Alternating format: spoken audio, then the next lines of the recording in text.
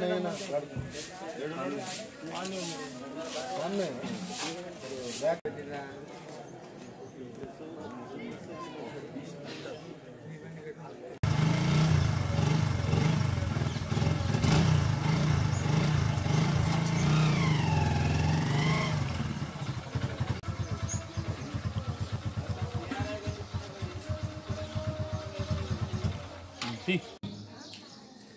డెకాటిస్ robberies మహిళల మీ మెడలోంచి గొలుసులు గుంజుకుపోయే దొంగలను మనము చాలా నేరాలను మనము అరికట్టినాము నిరోధించినాము.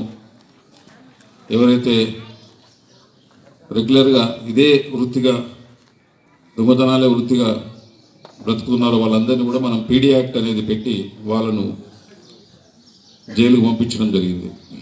సో ఈ విధంగా మనము కొత్త రాష్ట్రం ఏర్పడిన తర్వాత పోలీసులు నేరాల మీద శాంతి భద్రతల మీద ఎక్కువ దృష్టి కేంద్రీకరించడం జరిగింది.